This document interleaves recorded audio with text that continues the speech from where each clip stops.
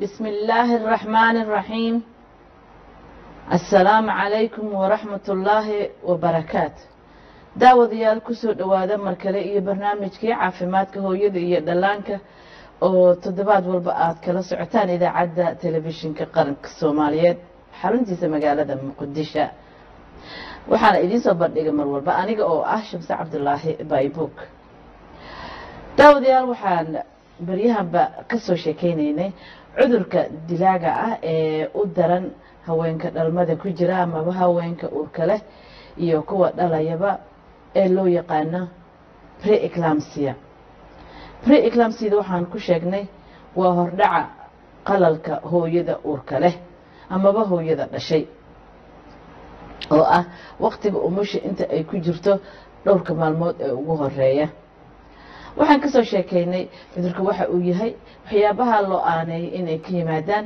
iyo waxyaabaha lagu arko.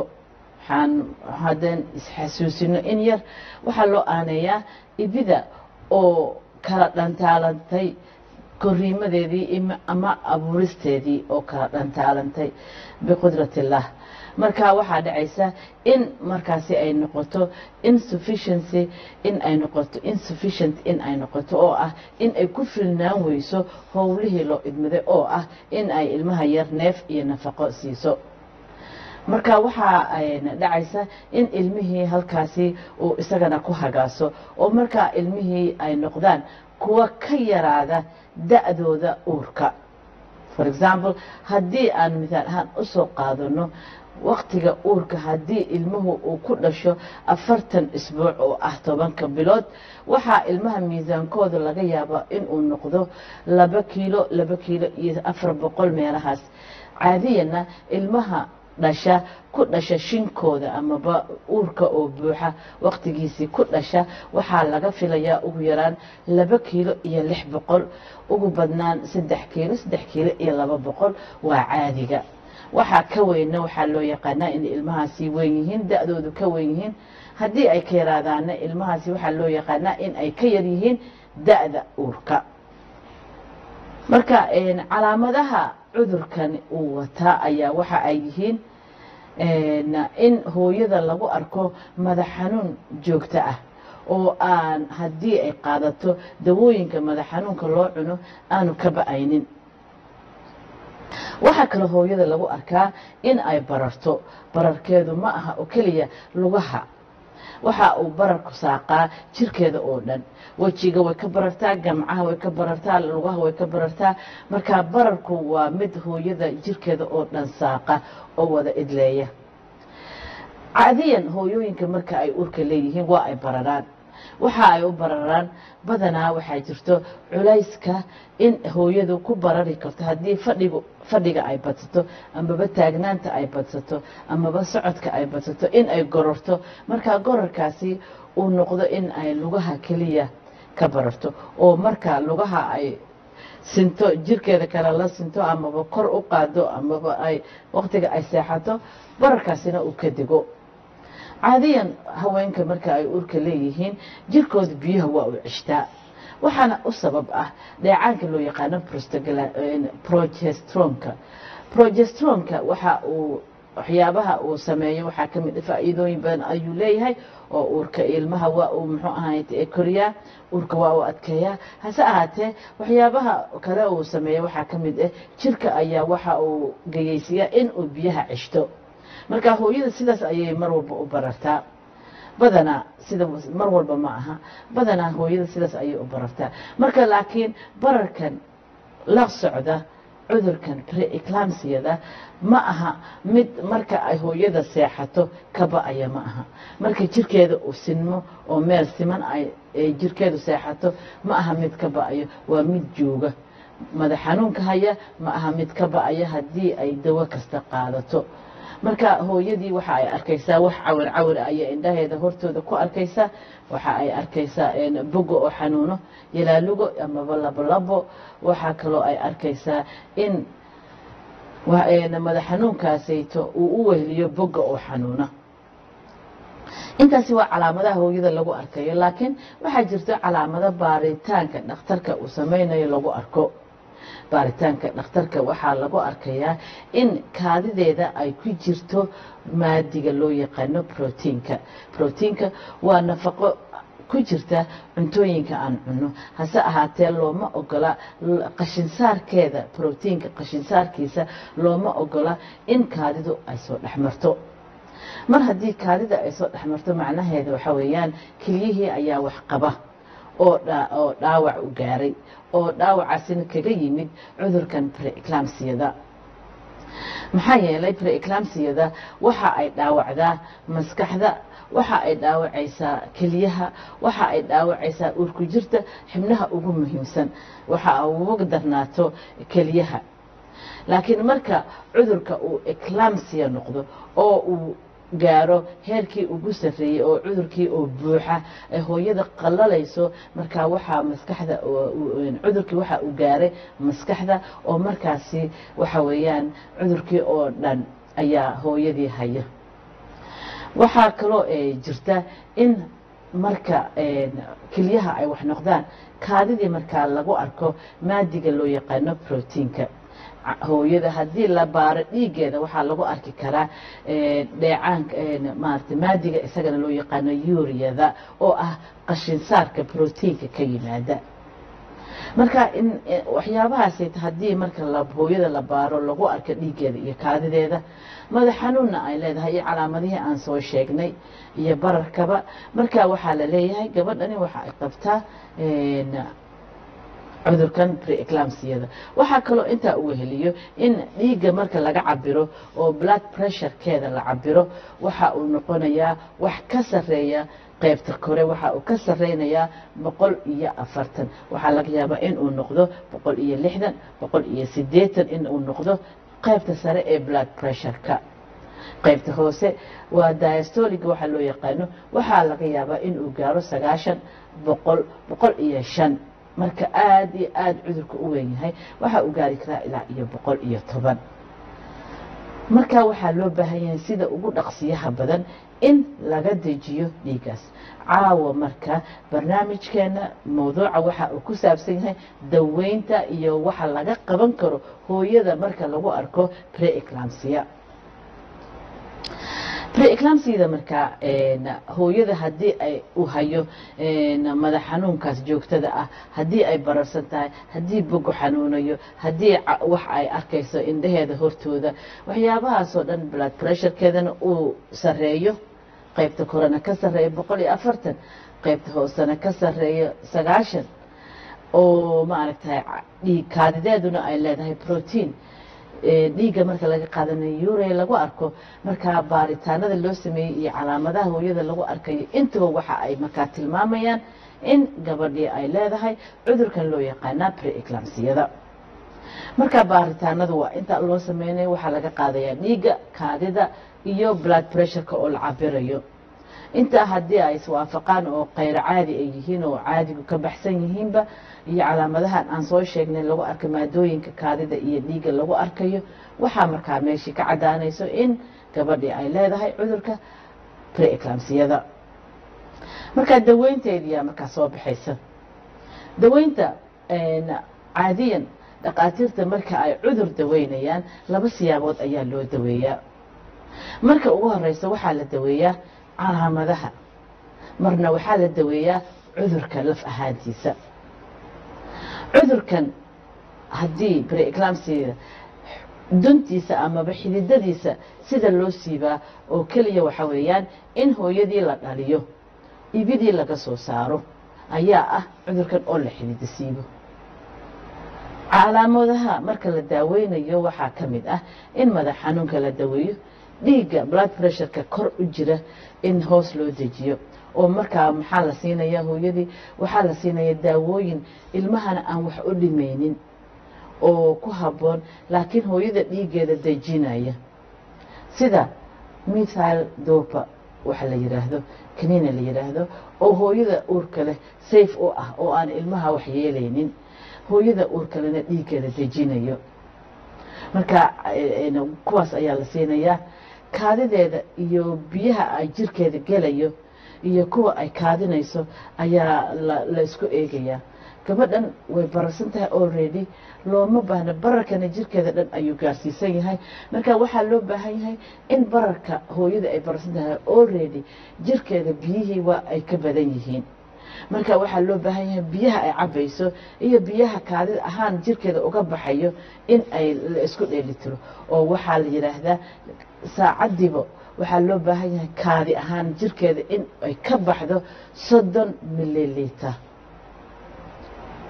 marka haddii ay labadii saacba musqusha margalayso oo ay kaadinayso wax ka yar lixdan mililiter maxaa yeeley saacaddii waxaa nidhi soddon mililiter ayaa looga baahan yahay hooyada caafimaadka qabta in ay kaadiso marka haddii ay kaadinayso afartan amaba soddon labadii saacadoodba marka waxaa la leeyahay kilyihii ayaa aada iyo aada dhibaato badan ka jirtaa oo markaasi cudurka aada ayuu u weynyahay marka kaadida haddii ay lixdan iyo in ka badan cabirayso labadii saacba waxaa markaa ay tahay kelyihii waa ay shaqaynayaan laakiin waa uu jiraa cudurkii kelyihiisi waa ay shaqaynayaan alxamdu lilah marka dhakhaatiirta saas ayay dawada marba ugu kala dhantaalayaan baaritaanadoo soconaya dhiigaga laga qaadayo mar walba laga qaadayo dawooyinka la siinayo iyo iyada oo marba lala socodsiinayo xaaladeeda sida ay tahay. Iyadoo oo la eegayo uurka heerka uu marayo haddii uu marayo heer ilmaha la dhalin karo gabadhi sida ugu dhaqsiyaha badan ayaa ilmihii looga soo saaraya oo laga dhalinaya haddii ilmuhu uu yahay mid foosha u adkaysan kara waxaa la samaynayaa gabadhii waa laga foolinayaa caadi ayaa markaa looga dhalinayaa. Hase ahaatee mar mar waxaa jirta xaaladda ay tahay mid aada khatar u ah oo dhiiggan aan leenahay kor u kacay. Dhiigga cabirka waa blood pressureka ah hadduu kor jiro oo dawooyinka la siinayo ay dejin karin oo ay dejin waayaan marka waxaa dhacaysa in gabadhii la qalo sida ugu dhaqsiyaha badan. Maxaa yeele waxaan soo niri oon soo sheegnay in cudurkani uu dabar go'i karo oo keliya marka ibida laga soo saaro raximka gudihiisa. Oo macnaheedu yahay ilmihiina markaa waa la soo saaray. Ilaan ibida keliya lama soo saarayo. Markaa qalin deg deg ah ayaa hooyadii la qalayaa oo laga soo saarayaa ilmihii iyo ibidiiba mar haddii ibida laga soo saaro waxaa dhacaysa in xaaladaha ay markaa degaan oo xoogaa laruuro yar ama ladnaan yar la helo. Haddii hooyadii markaa ay qalalaysay waxaa laga yaabaa qalalkii markaa waa uu istaagayaa haddii hooyada markaasi ay qalalayso amaba ay qalal ku dhowdahay marka ay qalal ku dhowdahay waxaa weeyaan marka hooyada madax xanuunkeeda uu bato marka hooyada miirkeeda uu marna tegayo marna uu soo laabanayo oo aad leedahay magacaa markaad tidhaahdo aanay magaceeda si toos ah u garan karin. Mararka qaarkood in yar kadibna ay magaceeda garan karto ay garan karto maalinta la joogo maalintee weeyaan ay garan kartaa la rabaa marka marmar miyirkeeda ayaa war marba sida waviska oo kale sida hirarka oo kale marna miyirka uu ka tegayaa marna waa u imanaya. Marka sidaas daraaddeed ayaa waxaa dhacaysa in la ogyahay markaan xaaladeedu in ay tahay xaalad aada khatar u ah oo mar walba la filayo saacaddaasi la taagan yahay in gabadhii uu qalal ku bilowdo marka haddii ilmihii weli uurka ku jiro waxaa loo baahan yahay markaasi sida ugu dhaqsiyaha badan in loo qalo gabadha oo ilmaha iyo ibidaba laga soo saaro. Waxaa kaloo jirto hooyada marka ay nooc heerkaasi marayso oo khatarta ah lama siin waxaa la siinayaa dhowr daawo oo kala duwan oo loogu talagalay dhiigga in lagu dejiyo waxaa kaloo la siinayaa daawo loo yaqaano magnesium sulfate oo ah aan qofka caadiga a la siin karin oo ah sun laakiin iyada qalalka ayuu ka dejinaya. Dawadaasi waxa ay tartaa waxaa weeyaan muruqyada dhan ayay waxay ka dhigtaa relax oo waxay ka dhigtaa dabacsanaan oo aada u dabcisaa marka muruqyada marka ay dabcaan gabadhi qalalkii waa uu ka go'ayaa amaba haddii uu ku soo socday kuma iman karo. Maxaa yeelay qalalku waxa weeyaan muruqyada jirka oo kaduudsanaan la geliyey marka marka kaduudsanaanta la geliyo ayay gabadhi qalalaysaa marka magnesium sulfateka la siinayo cabiraad ayaa jirta formula la raaca ayaa jira. Marka halkan kama sheegi karno maxaa yeele ma aha darsi carruur arday baranaysa dhakhtarnimo uma kuma jirno. Laakiin hooyada iyo ehelka ayaan la hadlaynaa hadda. Marka waxa weeyaan magnesium sulfatekaas dhakhaatiirta waxa ay ku siinayaan formula ay raacayaan ayaa jirto. In go-an oo la siinayo waqti go-an ayaa jirta marka dhakhaatiirta marka aad aragtaan in ay kala ordayaan marba dawada la bedelayo marba dhiig la qaadayo marba kaadidii la cabirayo waxaad ogaataa in gabadha xaaladeeda khatar ay ku jirto oo markaa la maaraynayo oo markaa maaraynta cudurkaasina ay tahay in haddii si wanaagsan loo maareyn waayo oo lala socon waayo hadba gabadha inta jirkeeda biyo ka baxayo inta jirkeeda biyo gelayo yaa laysku dheelitirayaa waxaa la fiirinayaa madax xanuunkeeda waxaa la fiirinayaa miyir qabkeeda waxaa la eegayaa hadba dhiiga oo marba la qaadayo oo la eegayo sida ay tahay xaaladeeda. Marka waxyaabahaasoo dhan oo la isku wada geeyo ayaa waxa ay tahay maaraynta cudurka. Marka dhakhaatiirta maaraynta cudurka ayay aada iyo aada uga taxadaraan oo xaalad deg deg ah oo ay necab yihiin dhakhaatiirtu weeyaan. Marka inta dhakhaatiirtu la diyaarinayo gabadhii in la qalo oo ilmaha laga dhaliyo intaas ayaa la samaynayaa haddii gabadha laga foolinayana waa laga foolinayaa laakiin saas iyadoo ay jirto haddana mar walba dhiiggeeda waa la qaadayaa jirkeeda biyaha gelaya iyo biyaha ka soo baxayo labadaba waa la isku dheelitirayaa. Marka howlaha noocaasi ayaa waxa ay tahay daweynta cudurka daweynta cudurka waxa weeyaan marka cudurka uu gabadha hayo intaas ayaa la samaynayaa hase ahaatee waxaa jirto xanaano ka horeysa inta gabadha cudurka aanu ku dhicin oo la sameeyo waktiga xanaanada waktiga ay uurka gabadha leedahay.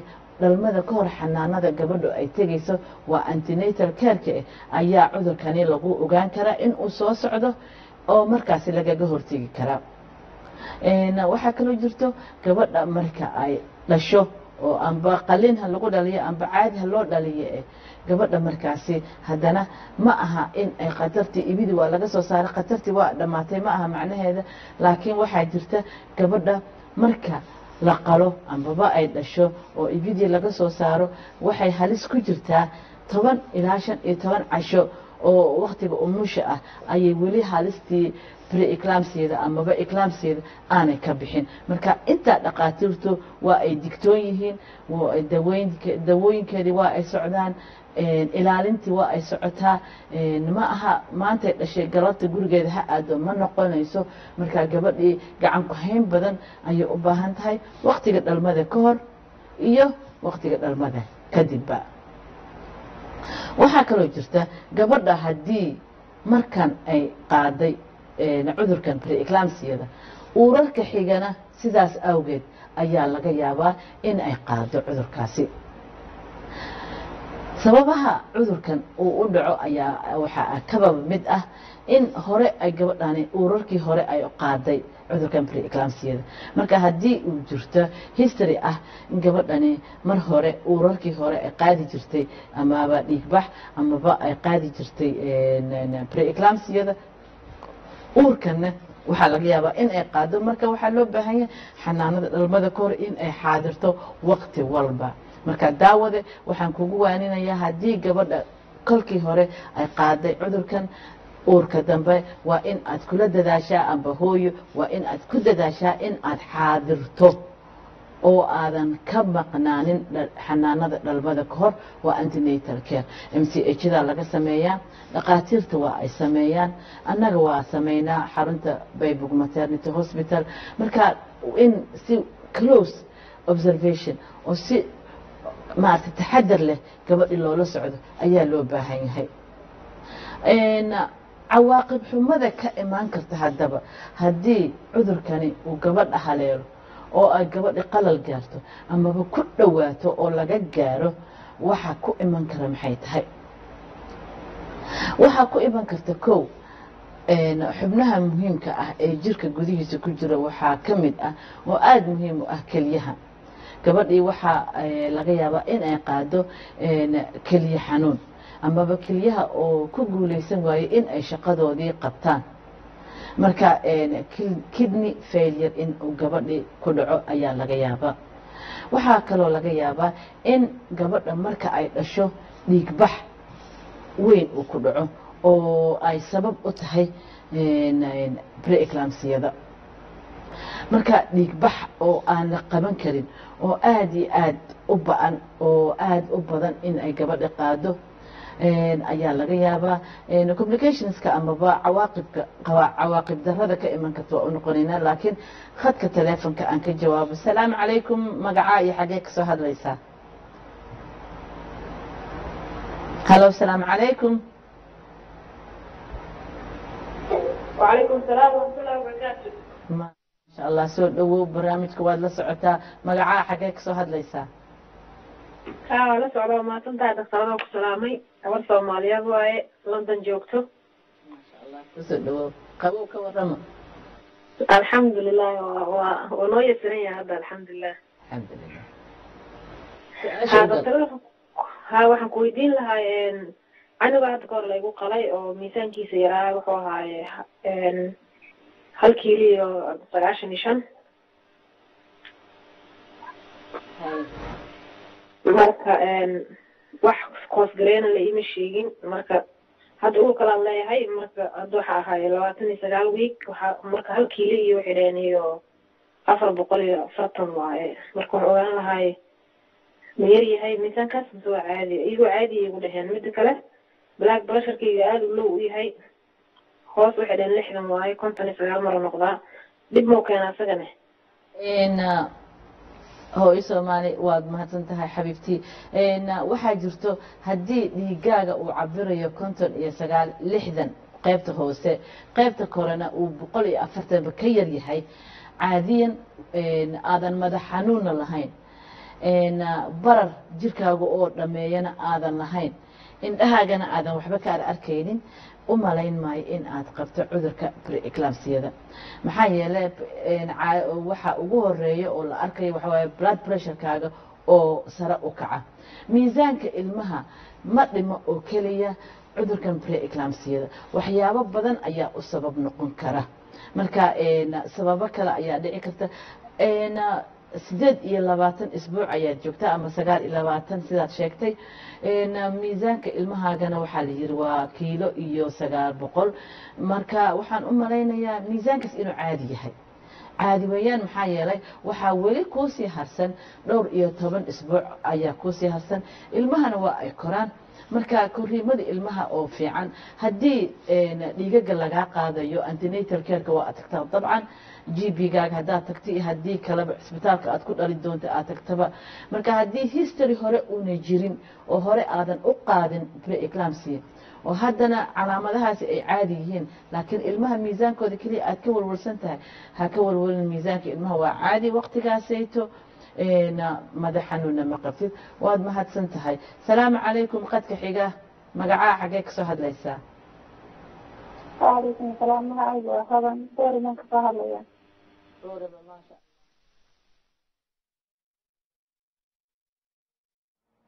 aan leeyahay bishii toddobaad baan ku jiraa inkaan ku leeyahay ancun baan leeyahay intaan uurka leeyahay wayaan leeyahay markasta dhaktariyaan tagaa wax siga laakin laiguma sheegin dib laygu keeni karaa cuncunkaasi leeyahay filan badan cuncunka waxaa jira gabdhaha marka ay urka leeyihiin in qoyaan badan ay leeyihiin. Qoyaanku waa iska bataa hase ahaatee waxaa jirta marmar infection uu jiro oo markaa qoyaanka uu keenayo infection oo aan markaas caadigii uu ka tegey. Haddii cuncunka uu keenayo infection uu keenayo dabcan markaa cuncun waa lahaanaysaa haddii qoyaanka uu keenay infection cuncun gabadhi waa ay yeelanaysaa laakiin haddii qoyaanka uu yahay kii caadiga ahaa cuncun ma keenayo waxaa kaloo cuncunka keena. Waxaa jirta badanaa soomaaliya oo dhan markaan maray waxaan arkaa dadka in ay ku weysaystaan ku istijoodaan bahal yar oo caagadaha saliidda ka dhammaato oo saddexlaha ama shanlaha ay yidhaahdaan sorry. Marka intaas waxaa dhacayso dhexdiisa waxaa ku samaysma wax cagaaran. Waxaas cagaaran waxaa loo yaqaan waa jermis waa fangay waxaasi haddii aad ku istijooto cuncun waa uu ku keenayaa. Haddii aad cabto calooshii cudur buu gelinayaa.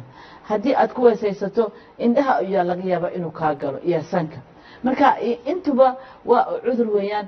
Marka dadka caagadaha saddexlaha ambaba shan liitr amba saddex liitr wuxuu ahaadaba mar haddii caag xidhan lagu weesaysto amaba lagu istijoodo dhexdiisa waxaa ku jira eeg.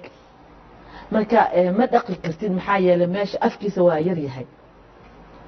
Waxaad u baahan tahay weel afkiisa furan oo aad xali karto markii ama aad dhaqi karto nadiifin karto in aad ku istijooto amaba tubada biyaha aad ku istijooto aadna ku weesaysanin wax shay dhexdiisa cagaaran tahay taa ayaa keeni karta hodan haddii ay taasi jirto ka waanto. Khadka xiga salaamu calaykum magacaa wacalaykum salaam waraxma magacaa xaggee ka soo hadlaysaa walaasha? Aliimo waxaan kaala soo hadlayaa bakool maasha allah bakool soo dhawow barnaamijka waad la socotaa su'aasha waxaan ahay shan bilood uu ah maasha allah marka waxaa xanuunayaa beesiyaasha markaan socdo iyo markaan marmar daal badanna waa leedahay daal. Daal daal daal daal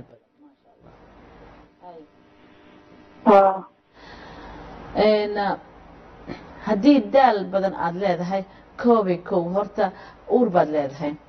Uurka een, waxaa isbedelo badan ayaa jirkaaga dhexdiisa ka socdo ilmo yar oo korayo ayaad korinaysaa ood nafaqaynaysaa ood neefsiinaysaa marka een, qofka caadiga ah inta uu qabanayo ambaba inta uu ku daalayo adu laba jibaarkeeda ayaa laga yaabaa in aad ku daasho.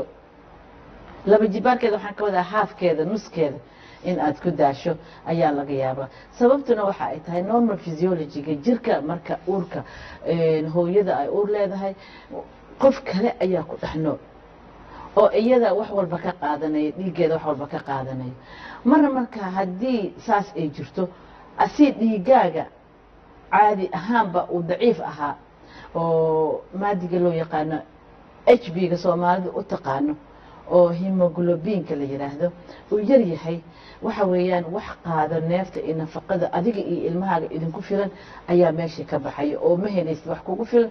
Marka waxaan kugu waaninayaa qurxe in aad dhiigga iska qaado h b gaaga ogaato.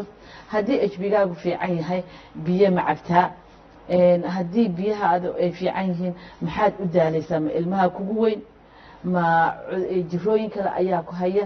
Marka waxyaabahaasoo dhan in aad ogaato ayaad u baahan tahay. Waxaad la xiriirtaa amba umulisadaada amba dhakhtarkaaga. Qadka xiga salaamu calaykum magacaa iyo xaggee ka soo hadlaysaa walaal halo salaamu calaykum khadkaasi waa ka xumahay wuu ka go'ay insha allah waxaan rajaynayaa in uu dib u helo qadkaasi qadka xigaan u gelaynaa halo salaamu calaykum magacaa iyo xaggee ka soo hadlaysaa haa waa idaacaddii waa telefishinka qaranka soomaaliyeed barnaamijka caafimaadka hooyada iyo dhallaanka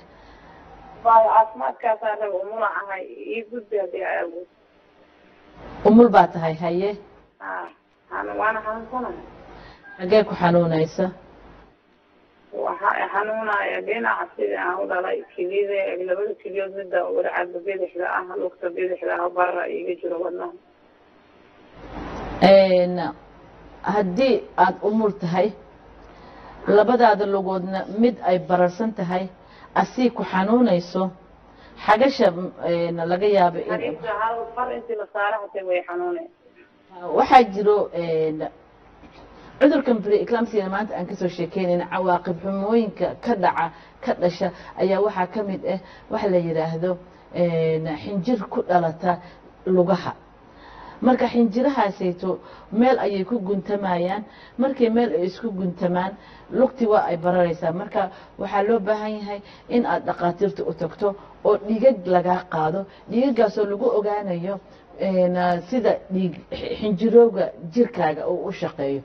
Haddii kale xinjirtaasi waxaa laga yaabaa in ay socoto oo wadnaha istaagto sababka istaagto maskaxda istaagto oo markaa dhimasho deg deg ah ay timaado.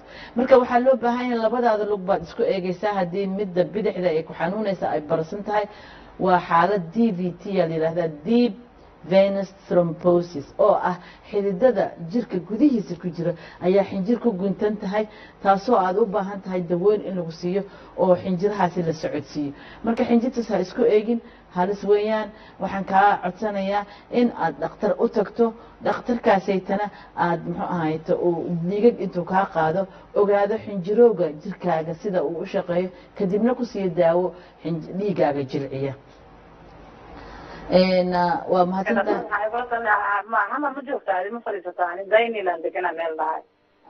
xamar waan joogaa waxaan deganahay een, ah, cisbitaalkeena wuxuu ku yaalaa taleex baybog maternity hospital baa la yidhaahdaa degmada taleex ayuu u dhow yahay degmada hodan waa marka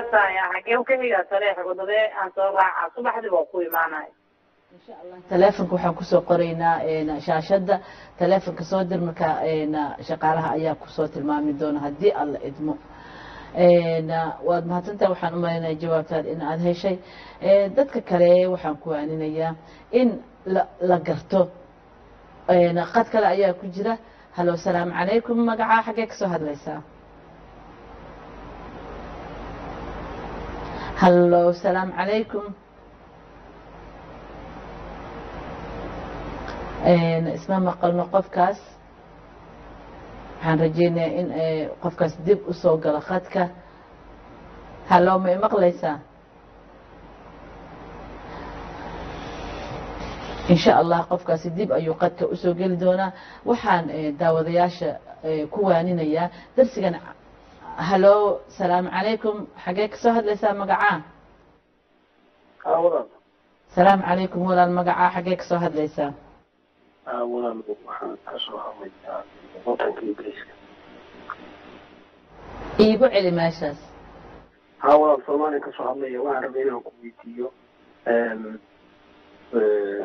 miscarriageka ama maaragtay ilmaha dhiciska ee soo noqnoqda saddex jeer.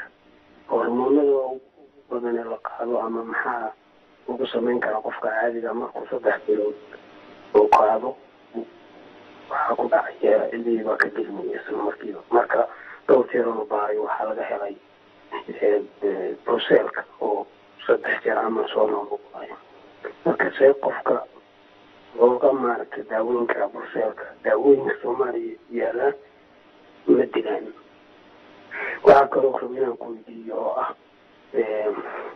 wax hormoona lagu baaro miyaa jira abnormality ama wax yidhaahdaan chromosome abnormality ama sidee baa looga hortegi karaa. Dadka baalka la yidhaahdo miscarriageka tirada badan ay waa Een, mahadsanid walaal waxaa jirta. Haddii saddex jeer ay dhicisay gabadhaada oo markiiba saddex bilood ay gaarsiisay ilaa saddex bilood wax ka yar ama ilaa saddex bilood ay gaarsiisay badanaa badanaa way dhacdaa chromosomal abnormality haddii ay jiraan. Oo ah een, geniska bini aadamka uu ka samaysan yahay haddii wax dhibaato ah ay jiraan inta badan waxa ay ka soo baxdaa ilmaha oo curyaama. Hase ahaatee ma dhintaan ilmaha dhiciska badanaa unless uu jiro chromosomal een, abnormality oo aada u weyn ilmaha markaas waa soo dhaci karaan oo aanu jirka sii wadi karin. Marka waxay ila tahay dhicisyada badanaa waxaa loo aaneeyaa oo sababa waxa weeyaan infection. Infectionadaasayto toxoplasmosis mid la yidhaahdo iyo mid brucella abortus abortus la yidhaahdo labadaasi infection ayaa sameeya dhiciska ayaa koosgareeya amaba sababa. Een, dhicisyada marka ay soo noqnoqdaan haddaba waxaa jirto walaalkayga wuxuu yiri dawooyinka soomaaliya jooga ma daweyn karaan. Dawooyinka eed ma laha waa ay daweyn karaan. Dawooyinka kama hadli karno ma oran karno dawadii waa xun tahay ama waa fiican tahay. Dawooyinka way fiican yihiin. Soomaaliya laguma sameeyo dibaddaa la keenaa dawooyinka. Marka dibadii ay ka imanayeen ayaa muxuu ahayto ma oran karno dibadda marka la joogana waa ku fiicnaan karnaa. Halkan markaan joognana kuma fiicnaanayna. Ma aha macnaha laakiin sabab waxba arrimaa jiro. Laba arrimood ayaa jira. Ima dawada sida loo meeshii lagu hayay ayaa tayadeedii hoos u dhigtay oo cimilo ahaan environmental factors ayaa jiraan. Dawada tabar tayadeedii hoos u dhigtay. Haddii dawada ayna ahayna waxaa kaloo jirto oo adiga aan ku leeyahay walaalkay gabadhaada markii ay mar dhicisay oo la daweeyey marka labaad dhiciska waxaa laga yaabaa in ay keeni karo kow waxaa keena bruselada iyo toxoplasmosiska oo laga qaadaa waxa weeyaan xayawaanka ku nool guryaha. Sida ari carbeedka mukulaalaha loda xaafadaha ku dhex nool ariga dad baa ari carbeed leh oo magaalada dhan waa ka buuxaan lo-da magaalada dhan way ka buuxdaa. Marka jeermiyadan ilmaha dila badanaa xoolaha ayaa laga qaadaa. Hadday tahay mukulaalo hadday tahay maaragta daanyeerka maaragtay xayawaanada la adopt garaysto oo guryaha lagu haysto ayaa muxuu ahayta laga qaadaa. Marka ka hortag ahaan walaal haddii ay arrimahaasi jiraan ha ka fogaato intaas baan kugu waanin lahaa iyo baaritaano badanna ha sii gasho. Qadka xiga asalaamu calaykum magaca. Wacalaykum salaam waraxmat ullahi wabarakaatu magaay doorasa magacaygu waa maxamed maxamuud xasan. Waxaan kaala soo hadlayaa degmada kaaraan. Waxaan rabaa inaan su'aal ku weydiiyo qof macnaha barar gacmaha iyo wejiga iyo lugaha uga jiro macnaha booree fara madax xanuun fara badanna uu jiro pressurekuna uu dhacsan yahay oo sideetan iyo todobo konton iyo kow uu yahay ma la dhihi karaa beri islaamkaa jirto haddii blood pressureka uu dhacsan yahay ma aha macnaheeda in gabadhaasi ma qabto pre-eclampsy. Gabadhaasi waxa ay qabtaan kuu sheegaya. Gabadhaasi anemia haysa. Anemia jirkao dhan ayaa barara wejiga gacmaha meel walba waa ay barartaa. Madax xanuun waa ay leedahay way daalaysaa marka anemiadana waxaa laga yaabaa in ay leedahay barar oo marka malnutrition badan uu jiro gabdhaha soomaalida qudaarta waa iskuma wanaagsana qudaarta waa necab yihiin. Marka maxamed waxaan kugu waaninayaa gabadha in nafaqooyinka ay cunayso. Welibana kaaran ayaa degan tahay baddaad u dhowdihiin mise ma ahayn cabdicasiis may ahayd meesha u dhoweyd badda raalli iga ahow kalluunka xamar maanta meel walba waa laga helaa kalluunka ha cunto ma aragtaye cuntooyinka nafaqada leh qudaarta ayaa ugu badan gabdhaha uurka marka ay leeyihiin qudaar badan ayaa u fiican. Qudaar badan ayaa u fiican min fadlikum qudaar badan hasii dhiiggeeda hala controlo h b geeda hala ogaado gabadhaas inay anemiga qabta ayaa laga yaabaa. Qadka xiga halo salaam calaykum maxamed maxaa isir walaal waa toban dhibic laba macnaha xaa ugu dambeysa baaran lagu dhahay marka balaadbadeerkaas dhacsan problem miya mise waa waa waxawaa dhibaatada ma keenay? Blood pressureka haddii uu dhacsan yahay oo uu ka yar yahay sagaashan kan kore kan hoosena ka yar yahay konton iyo shan marka waxay u baahan tahay jirkeeda in biyo lagu shubo. Oo volumeka xididada dhiigga ku dhex socdo ayaa dhiigga xisbiidka uu ku socda ayaa yar. Marka waxay u baahan tahay in aad dhakhtar geysid in biyo lagu shubo. Markii biyo lagu shubo kabacdi baaritaana la sameeyo oo dhiigageeda la qaado oo gabadhas la ogaado xaaladeeda sida ay tahay. Salaamu calaykum qadka xiga. Halo salaamu calaykum. Waalaykum salaam. Maamu waa qabro oo kaala soo hadlaysa banxaaw maasha allah khadra beled xaaw soo dhawow waxaan ahaa gabar xaambe oo gudaheedana dhamaystirta maasha allah ilaahay nabada kugu kala keeno xanuun baan dareemayaa dhakhaatiirta markaan aado rafcilay boolis booliska waan ka cabsaday habeen walbana caajisaan ku baryaa haddii qurxi aada dhamaysatay shinkaagii oo bilahaagii dhammaadeen dhakhaatiirtina ay kuu soo bandhigeen in lagu fooliyo.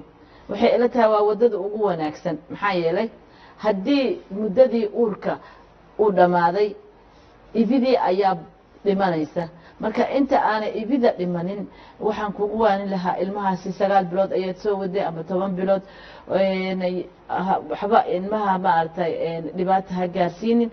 Fooliska waa waa caadi waa jirkaaga wixii uu samayn lahaa oo artificial lagugu samaynayo un weeyaan. Marka fooliska inaad ogolaato waa haddii shinkaaga uu dhammaaday oo waktigii uurka la gaaray oo afartankii isbuuc aad dhammaysatay tobankii bilood aad dhammaysatay. Qadka xiga? Halo asalaamu calaykum. Magacaa xaggee ka soo hadlaysaa walaal? Asma joogto boondheere. Boondheer asma soo dhawow su'aasha u maama waxaa ahay gabar pregnancy ah waxa waaye second baby waaye ay babygii hore abortiona ku dhalay bis marka waxaa dhacday babygii hore dhakhaatiirtan oo la socda waxay dhaheen caadi oo caafimaad qabtaa then waxaa dhacday markii aan dhalay waxaa lay sameeyey jeeg abguud waxay dhaheen wax xanuuna ma jiro laabka dhan waxa waaye zero waaye wax hadeertaan positive ma jiro. Waxa u daninaynaa inay kaasoo tuurtay jug. Then hadeertaan waxaa ahay pregnancy waxaan dareemayaa maama xanuun iga qabanayo dhanka bidixda. Uurkaagu intee bilood weeyaan hadda hadda saddex bilood waaye kii horena sidaan oo kale ii qaban jiray. Xanuun iga qabanaya dhugta bidixda agteeda. Xanuun zaaida tomaj ah. Dhakhaatiirta markaan u tagay hadeertaan uurka intaan leeyahay laba jeeraan dhakhaatiir u tagay. Waxay igu dhaheen way ibaareen jeegab guud ay mariyeen. Waa caafimaad qabtaa. Waa dhici kartaa in lagu baaray oo waxba lagaa waayey wax walba caadi yihiin. Hase ahaatee midda aan kugu daraya ayaa waxa ay tahay. Kowe kow ha raacin bajaaj maxaa yeelay waddooyinka oo dhan way wada jajaban yihiin. Muqdisho markaan ka soo hadlo. Marka waddooyinka iyo bajaajyada iyo maaragtay xawli ku socdo oo ay wadaan dad dhalinyaro ah oo maaragtay ilaahay kheyr ha siiye eh ay iyagana waa fiican yihiin oo dhalinyaro shaqaysanaysa weeyaan.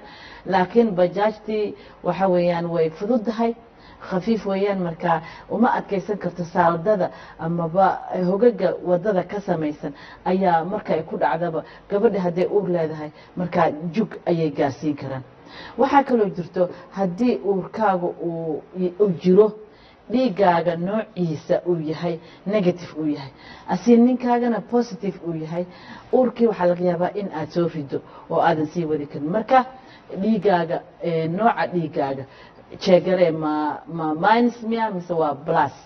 Haddii uu plus yahay dhiigaaga oo ninkaaguna plus yahay caadi waa fiicantihiin haddii adiga aada minus tahay ninkaaguna uu yahay plus. Una minus ahayn marka waxaa weeyaan sababahaas ayaa jiro oo aad ilmaha u soo ridayso. Haddii kale waxaa jirto meesha ku xanuunayso ayaa laga yaabaa in ay wax ka jiraan infection iyo wax ka jiraan baaritaano oo meeshaas ah ambaba computer waxaa la yidhahda scan in aad marto ayaa loo baahan yahay. Insha allah inay jawaabta ku deeqdaan rajaynaya. Haddaa rabtid noo imo annaga baybog maternity hospital waan fiirinayna waxaan qaban karno insha allah. Qadka xiga salaamu calaykum iyo magacaa xaggee ka soo hadlaysaa waxaan ka soo hadlaya daynin ifraax daynila soo dhawo magacaa ifraax maxamed aa lay dhahaa wo su'aasha u gal. Kula hadla lambar kalan kaalahan anigaa soo laabtay gabadhii uma shaahid xanuunka kuu sheeganaysaa xanuunka dhabarka wuu iga hayaa madax xanuun fara badan wuu ihayaa lugta way bararan tahay kiliyada bidixda ah lugta waxa dhan waa i bararan yihiin hadda aan kula hadlayo inaa xanuunka markaas kelinayaal ani xanuun baabi aan u arka aan cuno maahane xanuunka maba i dhaafin ilaa aan dhalana laba bilood iyo beriyo inta aadan dhalin ka hor ma ma dhiiga dhiig kar miyaa lahayd? Maya maya weligay ma yeelan. Sagaal caruura ii joogto weligay ma yeelan. Maasha allah ilaaha ku dhaafo. Waxaan u malaynaya in aad u baahan tahay in dhiigag lagaa qaado oo la baarayo clotin factorkaaga waxaa la yidhaahdo clotin factor oo ah xinjirooga jirkaaga sida uu jirkaaga dhiig u joojiyo amba xinjiraha uu sameeyo. Ayaa muxuu ahaay la baaraya marka dhiigag in lagaa qaada u baahan tahay dhakhaatiirta la xirir ambaba annaga noo imo haddii aan la idmo qadka ugu dambeeya ayaan hadda ka jawaabaya waqtiga ayaan lagu sameynin halo xagee ka soo hadlaysaa magacaa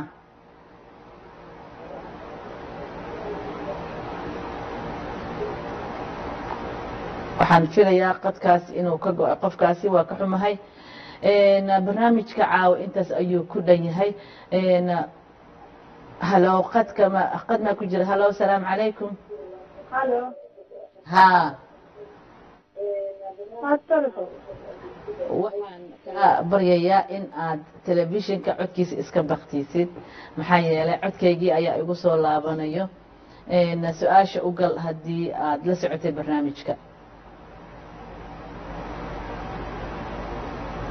wuu ka go'ay amsor waa ka xumahay. Gabadhaasi qadka waa uu ka go'ay. Barnaamijka caawa intaas ayuu ku dhan yahay.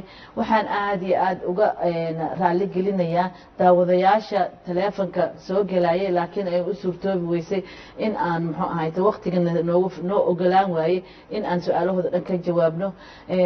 Waan ka xumahay laakiin toddobaadii kale insha allah haddaan noolnaha isku soo noqon doonaa waxaan mahad u celinayaa ilaahayga subxaana qaadirka ahaa ee awoodana siiyey.